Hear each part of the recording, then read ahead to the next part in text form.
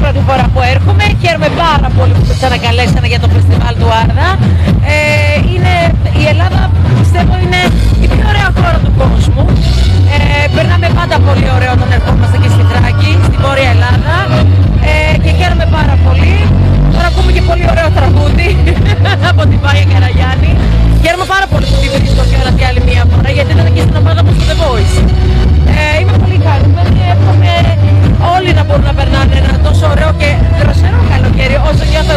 Εγώ σήμερα εδώ πέρα στην Ορισιάδα.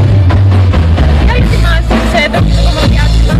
Για το επόμενο διάστημα, ε, εγώ είμαι στη φάση που ε, είμαι στην τελική ευθεία, δεν έχω αποφασίσει ακόμα τι θέλω. Έχω πολλές προτάσεις, πολύ ωραίες προ- προτάσεις, πολύ δημιουργικά πράγματα. Ένα από αυτά είναι να ολοκληρώσω ένα άλμπουμ, αλλά και πολλά άλλα που χωνεύουν ακόμα μέσα μου.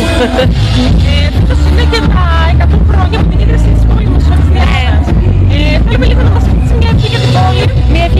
ευχή για την πόλη, αγαπημένη μου Οριστιάδα, εύχομαι όχι, τα, τα, τα, τα χιλιάσουμε είναι λίγα η αλήθεια είναι.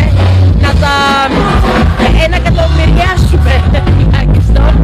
Ε, έχω μάθει ότι είναι οι περισσότεροι πρόσφυγες από την ε, Αριαδνούπολη.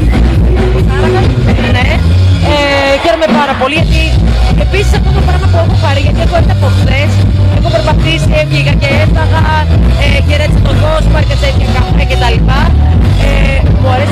αρέσει πάρα πολύ να περνάω τον δρόμο και σταματάνε όλα τα μάξια. Είναι, νιώθω σαν να είμαι Σουηδία ένα πράγμα. Είναι υπέροχο αυτό το πράγμα. Πολύ πολιτισμένο η αλήθεια είναι.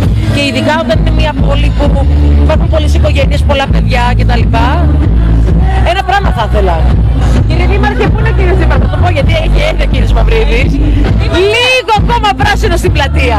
Λίγο ακόμα πράσινο. Λέω, είναι πάρα πολύ ωραίο, έχω περάσει υπέροχα. Δεν φορά περνάω υπέροχα που μετά το